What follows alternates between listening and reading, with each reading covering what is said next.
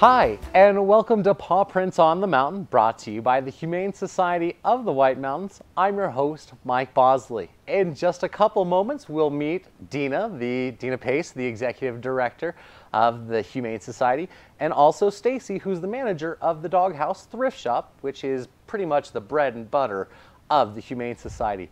So we'll get to those in just a couple, to those ladies in just a couple of moments. But before we do, we're going to go into a little segment called Bosely's Pet Peeves. Now, this little segment, it's not the opinion of the board, it's not the opinion necessarily of the Humane Society, it's just me talking to you. So, Punxsutawney Phil said that we're going to have an early spring.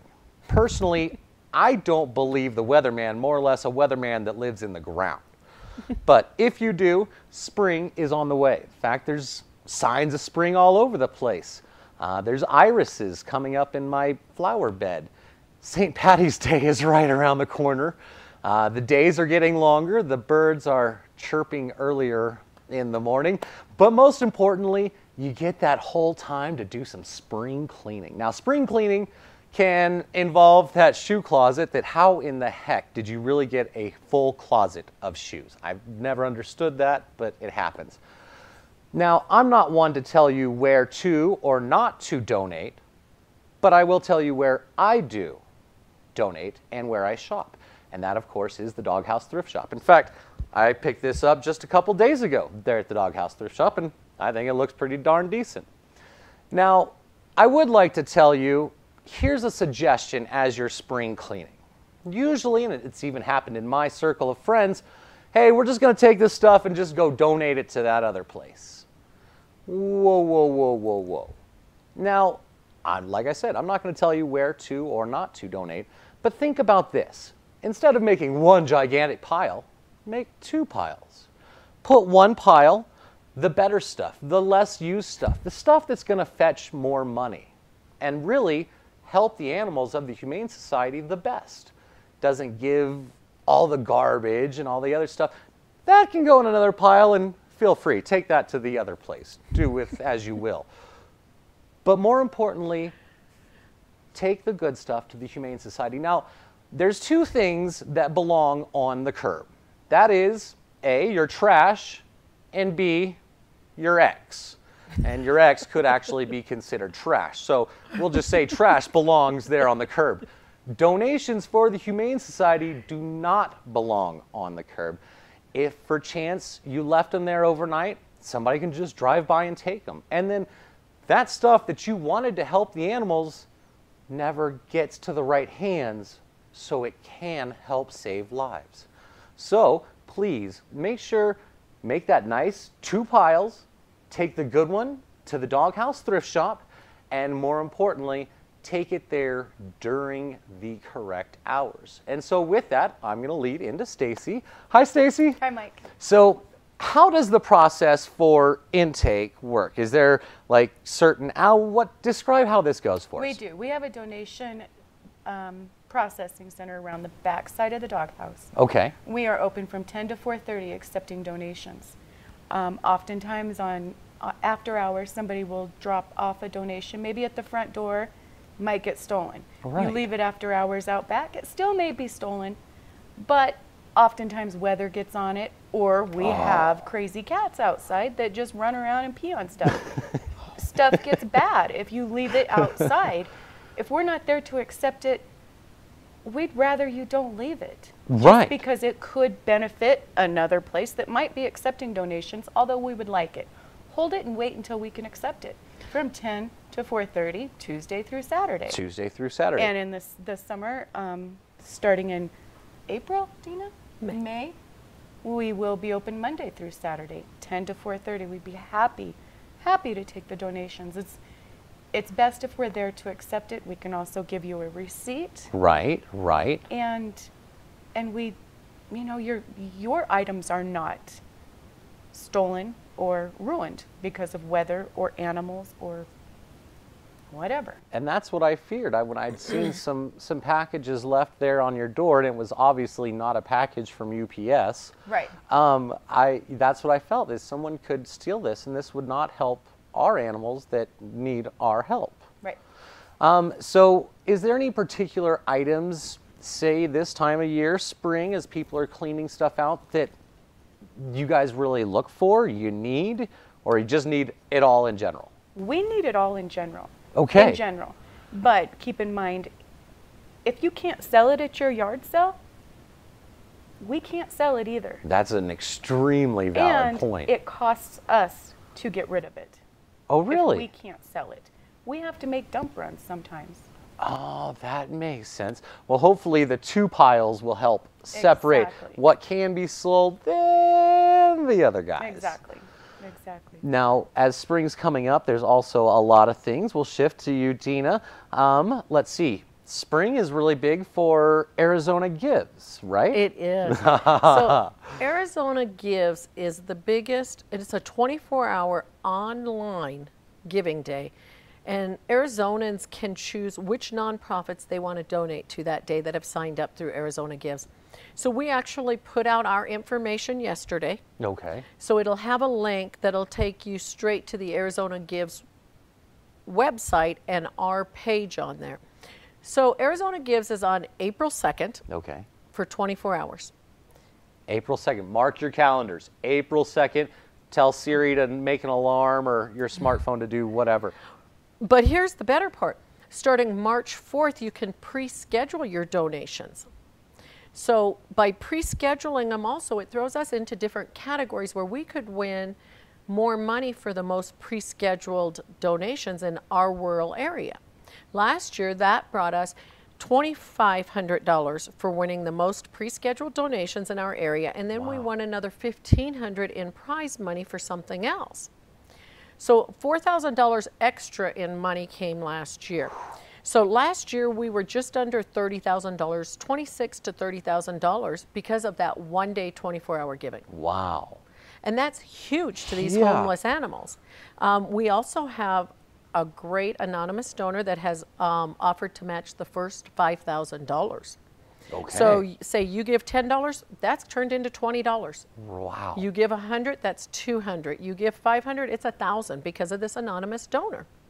So this is, it, and it gets very exciting because on, on that day, for that 24 hours, I mean, you're on the computer because you get these little notices, donation, donation, you know, and it's, it's amazing how generous people are to our cause. You know, Mike, the work that we do at the Humane Society each and every day would just amaze people to really know what we do. So this year we've redesigned our Arizona Gives program a little bit, and, and people will be getting an email if you choose from us twice a week. And then we're going to post more often on Facebook some of these great stories. So if you're not following us on Facebook already, do. And you can follow us on the Doghouse Facebook also because we're going to post some stories over there of the animals that come in. You know, and, and we welcome these animals into the Humane Society family right. because it is a big family. You know, we're all family. The the employees, the volunteers, the the people and the animals that are affiliated with us. It's a family thing. Oh, yeah. You know, and so we're gonna we're gonna share some great success stories that we've had this last year, and because of donors donating for for this cause, we're able to continue our work this year so we can help more animals. And you know, like you had said at the beginning, our doghouse thrift shop is our everyday income. Right. You know, that money goes over to the to the shelter every day to support these homeless animals. Which is not cheap. I know that number, you've said it once before, and that was last year's number because Right. my bills went up this year. I'm right, sure right. yours did. Last year we were we were just under eighteen hundred dollars a day to keep our organization open. So Arizona Gives doesn't even really fund a full month of the shelter's operation. It's close. It's close. But you know what? And and people say, you know, I, I don't have money. I can't help. You can. Every dollar helps. You know, if if 10 people gave $5, That's 50 bucks. exactly. You know, and 50 bucks will buy a couple bags of dog food or Right. or a, you know, close to a tray of vaccinations so that we can vaccinate up to 25 animals. Hmm. Things like that. You know, people don't realize the expenses in these. And and by going on and joining us with the Arizona Gives, mm-hmm. there's a breakdown of what it cost, you know, for our vaccines and all that kind of stuff because every animal gets vaccines from the time they hit our incoming. Wow. So they already start getting those We vaccines. have to Well, yeah. for, for, our animals that are already safe- there. for their safety and for the safety of the ones coming in. So, and, and in our, in our world, it's different than in, you know, your personal pets at home, my personal pet, Stacy's. There, we have to vaccinate our animals every two weeks to help prevent disease until they're a certain age and we have, have got them, you know, through all that vaccinations. So, in a sad, perfect world, uh, let's say you had a dog incoming and that dog didn't find its forever home for two months, you've had to give that dog four different vaccinations. That's exactly right. If they're under a year old, we have. Wow. Absolutely. That's Absolutely. gotta And- cha-ching, cha-ching, Absolutely. cha-ching. And and people don't realize that. I did some figures um, getting ready for the Arizona Gives Day, and we took in 1,231 animals last year. so breaking down our expenses on that, that was $538 and some change per animal. Wow. That's a lot of money. Yeah. That's a lot of money. And I'm even prouder to say, with the statistics that we've come up with, that our live release rate for uh, 2018 was 94%. Now that's a funny, that's a funny statistic. Obviously, 94% is is huge, It but is. there's a way that the society has twisted some very important words based around shelters. Yes. Could you kind of explain that to everybody out in TV land, what it really means to be or not to be a no-kill shelter? Okay, so, and, and just like you with your personal rant, I'm going to say this is my personal opinion. Okay. Okay. So, my personal opinion is I don't want to ever say we're a no kill if there's any euthanasia going on. Okay. Part of our euthanasia is we do it as a service to the public. We only euthanize if there is a disease outbreak that could wipe out our whole community of animals. Okay. Rabies or something to that extent. Rabies, distemper, parvo. Oh, yeah. Because we have nowhere to quarantine this stuff. Okay. Okay. Or if their quality of life is so bad, they're suffering. Makes sense. You know, they've got cancer, we can't fix them. Right. you know and so so for a long time our community had this bad outlook of us um, because of euthanasia. Years and years ago there was a lot of euthanasia. We were the only place up here you know? And um, we're not that place. We haven't been that place for years you know we just adopted a dog in december that was with us for 896 days Right. So- Never euthanized. Always a right. hope that you're going to find That's that right. forever home. That's right. And and so anyway, my point is, st- the the statistics or the standards in in the no-kill world is anything over 90% live release rate, you are considered a no-kill. So, by letter of the law, which this day and age politicians trip over all day long, you could, We if could. you wanted to, you could classify the Humane Society as a no kill shelter. Correct. But you also are a real world person and you I'm, understand I'm that a real world person. I'm a real world person. We will be back in just a moment now that we all are on the same page that, hey, lots of life saving going on there at the Humane Society.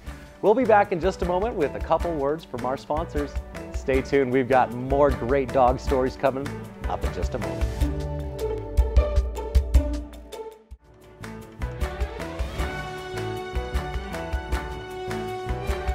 And welcome back to Paw Prints on the Mountain. I'm your host, Mike Bosely. Of course, Paw Prints on the Mountain is brought to you by the Humane Society of the White Mountains. Once again, let me remind you as the Arizona Gives comes up, you can pre order your donation now, or when the day comes, take care of it. Make sure and please put your donations there towards the Humane Society of the White Mountains. We are going to make this year a record breaking year. Thank you to you. Also, thank you to that anonymous donor who's going to match the first 5,000. So please don't hesitate. Please help give. Also, speaking of giving, um, there has been some volunteers. Volunteers come and go throughout the years. We did have some very dear, dear volunteers that have moved on to doing some other things with their lives. Uh, if they're watching, we greatly appreciate your service so very much. Thank you for helping save lives. Of course, if you're not those people, then you should be volunteering and helping save lives. So maybe one day I can thank you. Who knows? Now, welcome. Hi, ladies. Hi. Hello. All right, so we've got Deena Pace, the executive director. We've got Stacy. You are the manager there at the Doghouse Thrift Shop. Correct. So, what kind of uh, hot stuff you got going on Hot for stuff. spring? For spring, well, we're trying to clear out our. We've got this big snowstorm. We've got snowstorms coming, and we'll be having.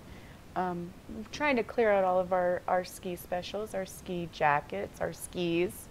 Um, that will be going through March. Okay. Um, the first weekend in every month, we will have 25% off everything in the store. Everything. The very first weekend. So, from the door front to the door back is going to be all on sale. Everything. And out the side doors into the barn, huh? And every everything we have is on sale. And if if if you don't think it's for sale, ask. Everything's got a price. Okay. We'll sell, we'll sell the carpet. If it'll feed an animal, I'll sell it. there you go. and we always do get a freak snowstorm in the middle of May, so pick up ski stuff Yeah, just absolutely. in case. You Yeah. never know. Um, what else you got going on there?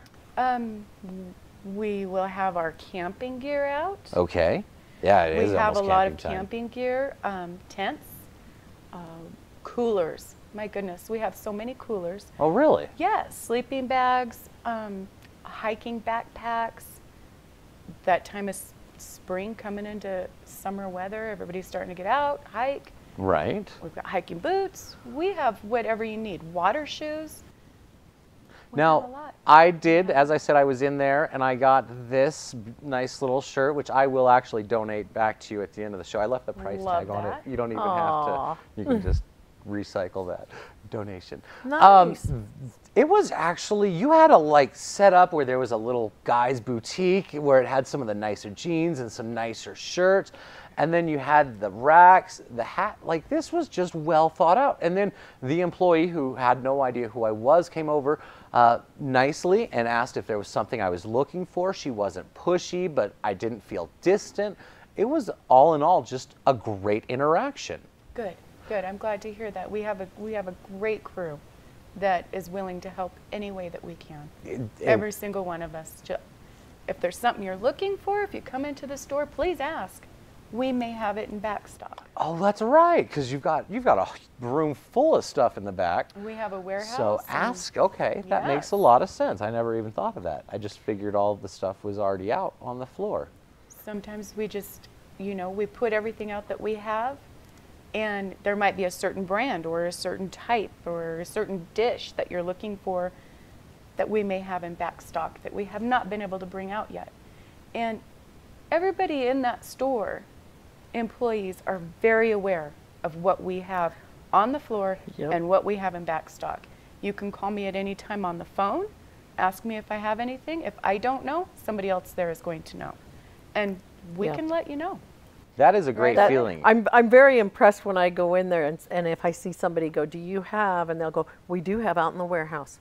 You know, so by processing this stuff, and that's why it's so important to have your donations. Even though we're open there from 10 to 5, they accept the donations 10 to 4:30, so uh-huh. they can get them in before the end of the day. And and while you're processing, I mean, they're so awesome about knowing everything they have, you know, and where it's at in that warehouse. So I'm I'm really impressed with the organization and all the hard work that goes on over there. There's nothing more frustrating than walking into any store and going, "Hey, do you have this?" and you get that cold blank look of, "Uh, maybe it'd be in that corner over there." Yeah. So that's phenomenal that your employees have that level of customer service that they know exactly what's going on and where what is. So Yes, and we do. We do. It's it's it's a crew effort, but we we make a great crew, and we all. If one of us doesn't know, we get on the radio and we ask another until we get the answer. Now you're saying that you do have a lot of intake stuff. So is there um, room for volunteers to help with intake stuff? always room for volunteers. Always room. Yes. No hesitation there. You know, we love our volunteers. We Oh can't do what we do without our volunteers. Uh, yes, 100%. I believe that. And, and one of the, the most important things that people can give to us is their time.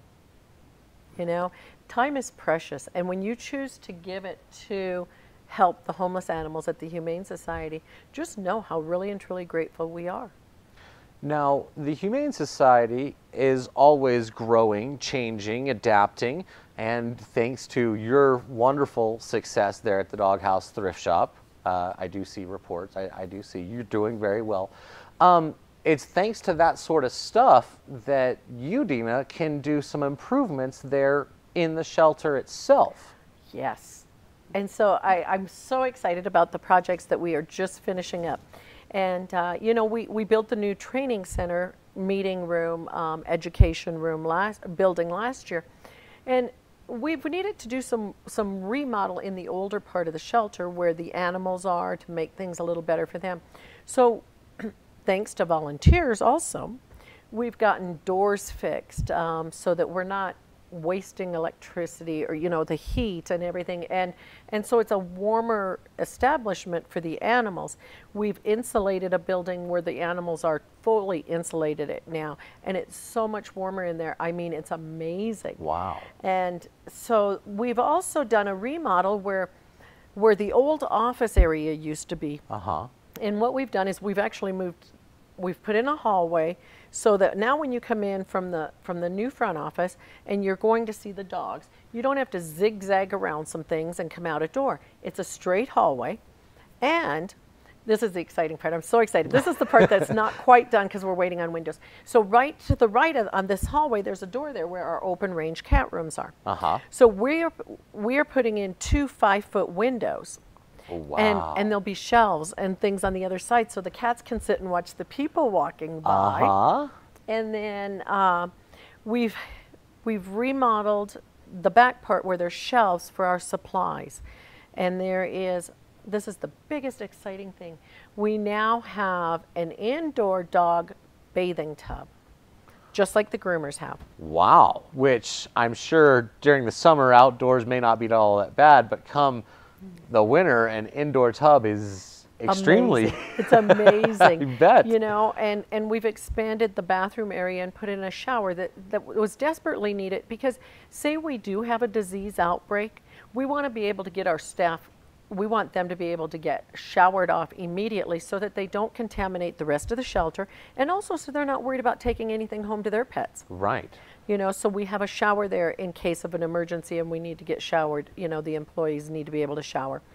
But this bathing tub is something huge for us because, you know, we have animals come to us all year round and so many of them will come with ticks or fleas and stuff. And so we have to do these dips and picking and and this tub, and, and it's in an area where it's warm, and, and it's just so, I, this has been a dream of ours for a long time. And then we put down new flooring in those areas. You know, our floor was all chipping apart. And so then we've done that. We're making repairs to the kennels for the dogs. And then we're getting ready to paint the whole sections where the dogs are. Ooh. So the dogs are going to have a fresh new look at things too. Okay. So this is all exciting stuff, but it's thanks to the donations that people help us with and by shopping and donating to our doghouse thrift shop that make these things possible. Well, so that brings up a point. Uh, spring break is right this month around the corner, St. Patty's Day. Um, so make sure there's lots of things to do during spring break, such as read to the dogs. Absolutely. I mean, there's all things of all ages. Yes. And you just demonstrated that you don't necessarily have to do something with an animal to volunteer. Absolutely not. You had, you're going to need painters pretty soon. yeah. Anybody can move a paintbrush. Uh, let's see, you need people to help intake at the doghouse thrift Correct. shop. So there's lots of jobs that anybody, so anybody can find a way to volunteer there at the Absolutely. And then once once spring gets a little bit more settled with us, you know, and the, the ground's a little harder and not so full of snow or mud, you know, we've got cleanups at both locations. You know, we need to rake up pine needles. We need to clean gutters. We need, you know, there's all kinds of things that we need to, to clean and, and make the grounds look good and ready for nice and spring. And nice and ready for Arizona Gives. And uh, Absolutely. Absolutely. help. That, that, that Arizona gives it. It's the Alliance of Arizona, which is a nonprofit that puts this on every year. And this is just an amazing thing. You know, so many people seem to think that the Humane Society, because we say Humane Society of the White Mountains, is affiliated with the Humane Society of the United States or the ASPCA. And they go, oh, we donate every month and you send us these nice t shirts. That's not us, you know. Unfortunately, that's a big organization that it's I'm not saying anything bad. That's a great organization to donate to. But I just want you to know it's not getting to us. Right. And, and we don't give you t-shirts because we can't afford it. We're too busy spending the money on the animals, you know, that, that, that are in our care. The necessities. Yeah. And even the extra little things like a grazing shelf to watch the humans as they walk by. Exactly. you know, things to make these guys, you know, because the, the sad thing is they all, most all of them come from a home and they come in, probably I think Debbie figures 75% of our animals come in as strays that no one comes looking for. That's And- devastating. It is devastating. And the, and the ones that are heartbreaking are the older dogs. Right. You know, for whatever reason, they're with us. And we will keep them until we find them that perfect forever home. One of my goals and, and dreams before um, I retire someday is to find like a hospice for older animals to go to. You know, hospice homes, you know. So we're going to, and, and that's a form of volunteer, the fostering. But, Right. but we would love to be able to, if someone's interested in doing that kind of stuff for us, I want to talk to you. We need you, you know, and and that way some of our older dogs that may have months or even years left, they can finish it in a home eh, with love. And comfortable. And Yes. You know, our, our facility's not a bad facility, you know, they're loved and they're cared for, but it's still a shelter. Well, everyone, thank you for joining us this week. Thank you, Deena. Thank you, Stacy. I appreciate you. coming in, spending busy time away from the Doghouse Thrift Shop. What day is Arizona Gives again? April Second, 2nd. Okay, good. I you can start pre-scheduling March mm-hmm. 4th, your Okay. donations. All right, so go pre-schedule or we'll see you on April 2nd. Check with the Humane Society, see if there's any volunteer opportunities that would work for you. Of course, thank you ladies. Everybody, till we see you next time, I'm Mike Bosely, and thanks for joining us on Paw Prints on the Mountain.